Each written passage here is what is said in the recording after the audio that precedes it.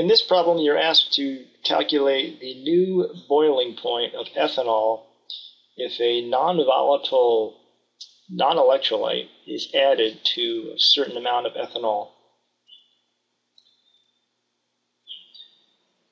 The best way to solve this is to use this equation. The change in temperature, which is delta T, equals the boiling point elevation constant, Kb, times the molality times I, which is sometimes called the Van 't Hoff factor. But I is the total number of ions in the formula if the solute you're considering is a non electrolyte, i.e., molecular compound. I is 1. It's important to remember that delta T is not the new boiling point, it's the change in boiling point. So you're going to add delta T to the boiling point of the solvent, in this case, the normal boiling point of ethanol. Kb is the boiling point elevation constant for ethanol, and that's something you could look up in a table. The molality is moles of solute divided by kilograms of solvent. And in this case, the solute is estrogen. Substituting in the numbers, calculate delta T is 0.340 degrees Celsius. Add that to 78.5 to come up with the new boiling point of ethanol.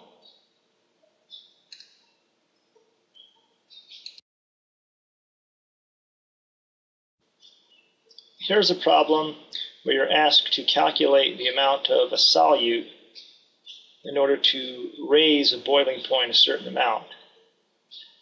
Still use the equation we used before, delta T equals Kmi. And now we have sort of an algebra problem. Solve for x. In this case, the unknown, or the x, is the moles of lead acetate. There are a couple of ways of approaching this algebra problem. But the first thing I will do is cross multiply 0.3 uh, times 0.215 to get rid of the fraction. Then multiply 3 times 0.512 to get 1.54. Then divide both sides by 1.54 to get 0.042 moles of lead acetate.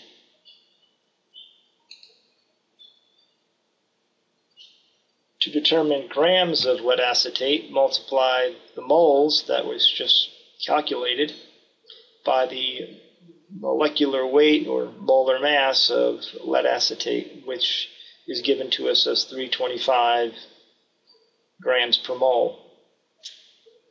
So the grams of lead acetate needed to change the boiling point of water by 0.3 degrees C is 13.7 grams.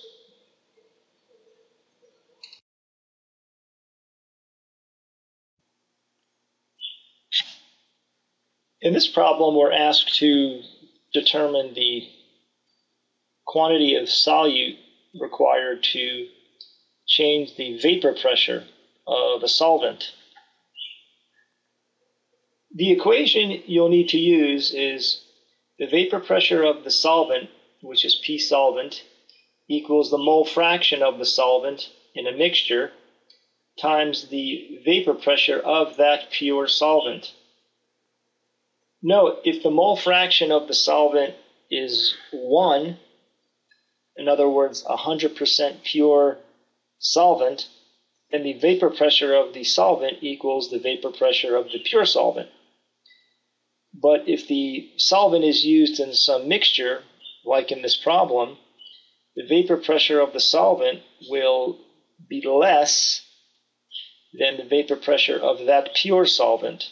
But one way to think about this is to work backwards from this equation.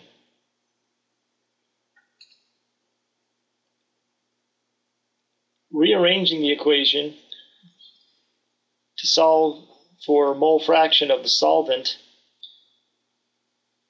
you'll have the vapor pressure of the solvent in the mixture, in this case we're given that number as 453.37, divided by the vapor pressure of the pure solvent, 463.57. 0.978 is the mole fraction of diethyl ether, the solvent, not the cholesterol. We can use this number to determine the mole fraction of cholesterol. Reminding ourselves that the mole fraction total equals 1, and the mole fraction total consists of the mole fraction of the solvent plus any solutes in the mixture. In this case, there's only one solute cholesterol. So we could use this knowledge to determine the mole fraction of cholesterol. Simply subtract 0.978 from 1. Use the mole fraction of cholesterol of 0.022 to calculate the grams of cholesterol needed.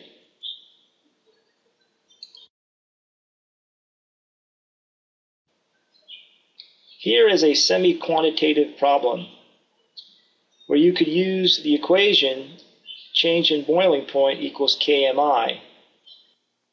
The I for the first solution is 3. The I for the second solution is also 3, 1 calcium and 2 acetate. The I for the third solution is 4, three nitrates and one aluminum. And the I for the fourth solution is 1.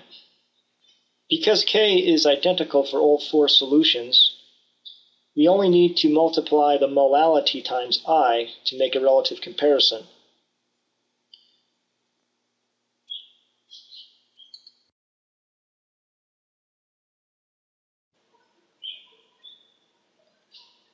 Here is another matching problem but now, rather than being asked about boiling point, we're asked about vapor pressure. We can still use delta T equals KMI to help us determine the relative vapor pressures. Because these are aqueous solutions, K will be the same for all four. Therefore, we can make a relative comparison of these four solutions by simply multiplying the molality times the corresponding I we have the identical compounds in molality, so m times i is identical to the previous problem. The difference here is uh, vapor pressure. Solutions that boil at a higher temperature generally have lower vapor pressures. Solutions that boil at a lower temperature will have higher vapor pressures. Your answers should be the reverse of the previous problem.